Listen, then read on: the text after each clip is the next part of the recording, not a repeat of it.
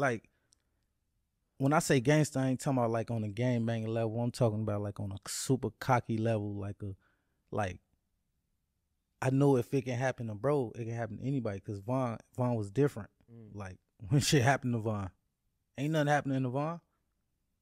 I done been shot twice. A lot of our guys done been shot. Everybody ain't shit happening to Von. Better know it, cause he different. Like he was different from like he was always on a different type of timing for real.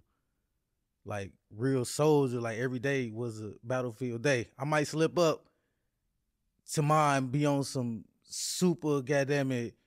I want to look nice. I want to goddamn it fuck with these girls and all that. Like bro was on a different type of level. He was always mentality. It's busting. Mm. Like we see in Chicago, like that mean it's turned up. You better keep your eyes open. Like bro was one of them. Like it's busting. You playing. You think you